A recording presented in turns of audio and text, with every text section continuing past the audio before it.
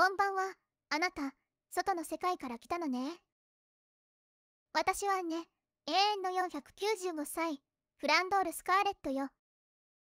ちょうど退屈してたところなの。一緒に遊びましょうよ。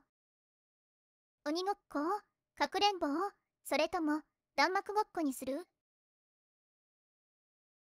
遊ばないの？じゃあ、こう魔館に帰るわね。バイバイ。ちょっと待ってって言われても。何かご用でもあるのかしら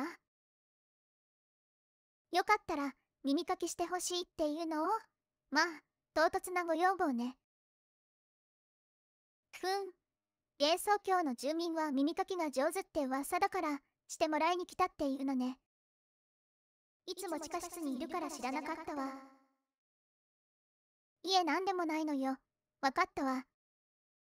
えっと、耳かき棒は、と。あら、ポケットに入ってるじゃない。不思議ね。じゃあ、私のお膝に横になってね。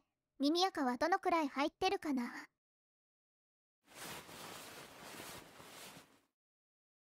わ、たくさん入ってるわ。これは両耳同時にやっていく方がいいわね。耳かき棒を両耳に入れていくから、痛い時はちゃんと教えてね。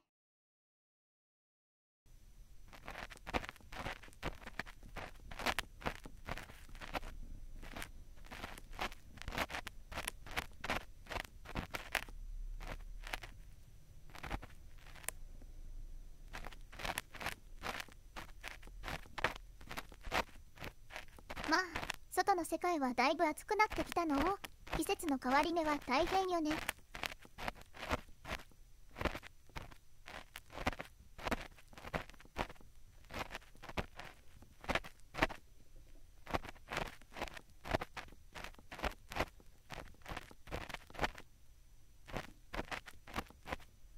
確か日本には四季があるのよね。今の季節は何かしら？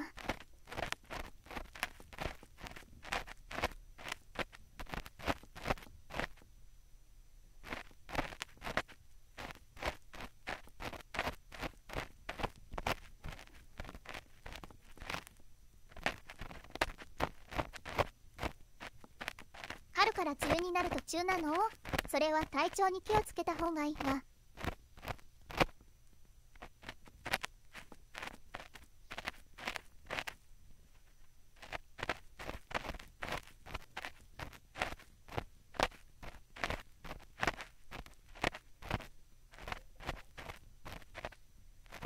でもこれから夏になるのが楽しみなのね。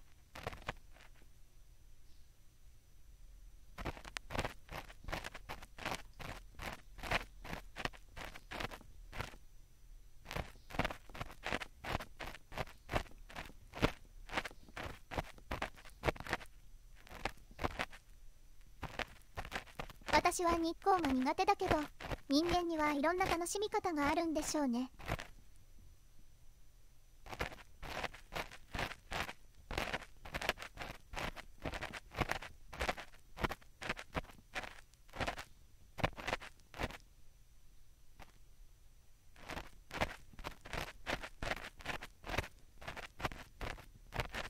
あのね普段外の世界のこと知らないから教えてほしいな。人間は夏に何をするの？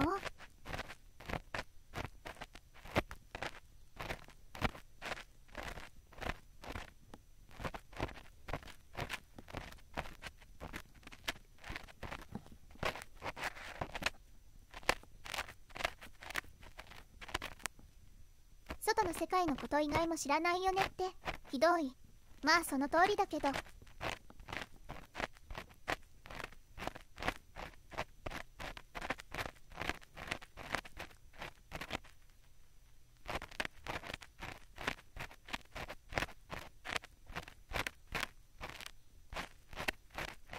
まあ花火大会と海水浴とキャンプとバーベキューをするのすごいわね。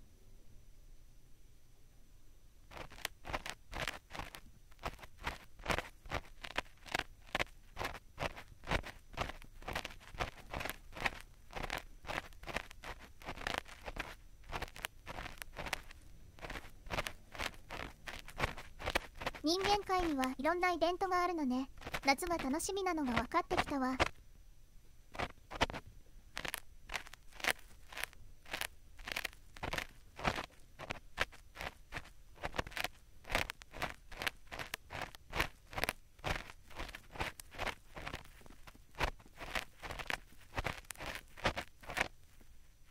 私はね好きで引きこもりしてるけど気が向いたら遊びに行ってもいいかな。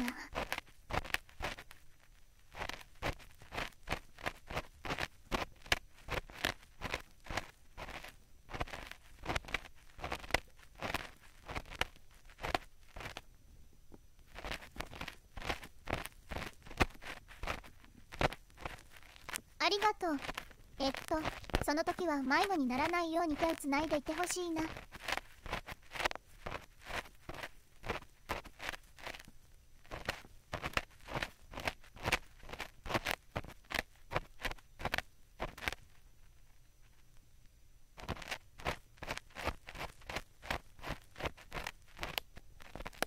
その代わりと言ったらなんだけどその時だけは花火を破壊したりしないようにするわ。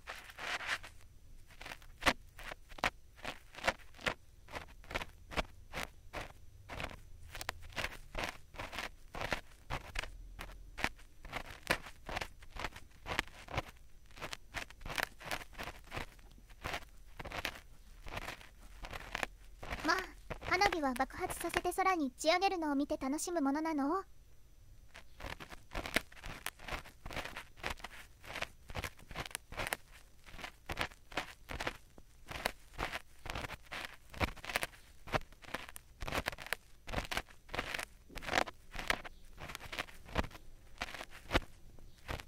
なのね。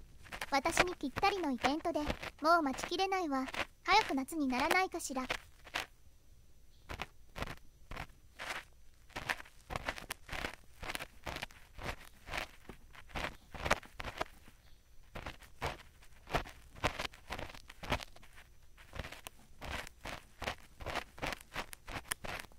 今ねお耳の中を傷つけないように優しく優しく書いているわ。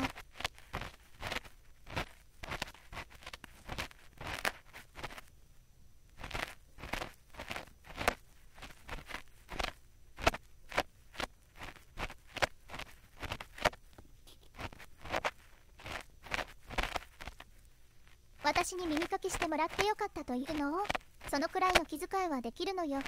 えっへん。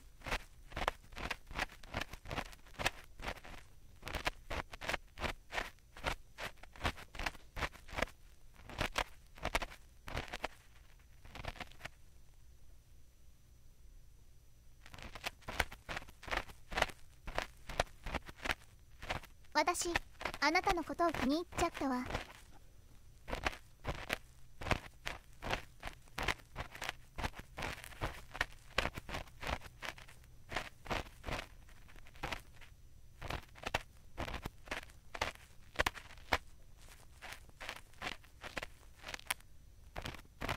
コウマカにはお部屋がたくさんあるから泊まっていってもいいのよ。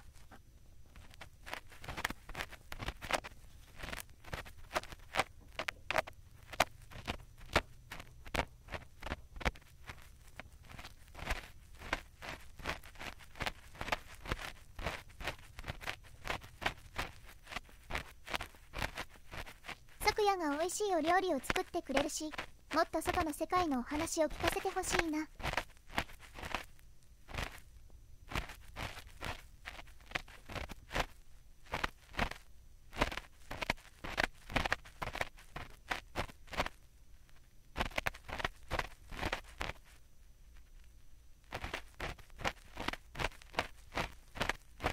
お姉ちゃんはねフランを心配してあまり教えてくれないからつまらないのよ。お姉ちゃんはフランに過保護すぎるみたい。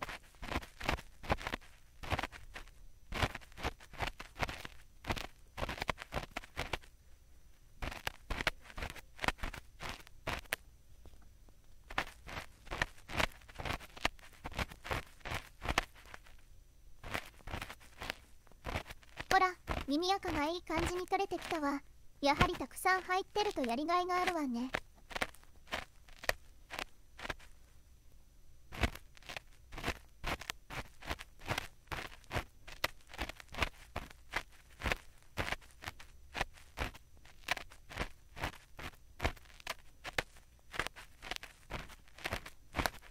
最初は帰ろうとしたのにっていうの？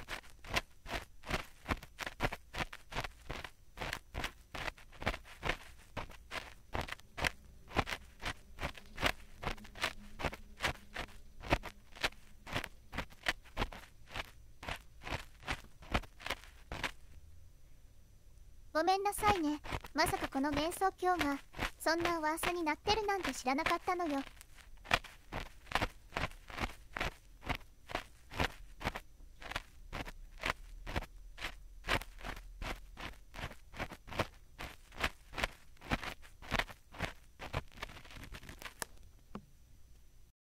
これで綺麗になったわ。じゃあ一緒にこう魔館に入ってゆっくりしましょうね。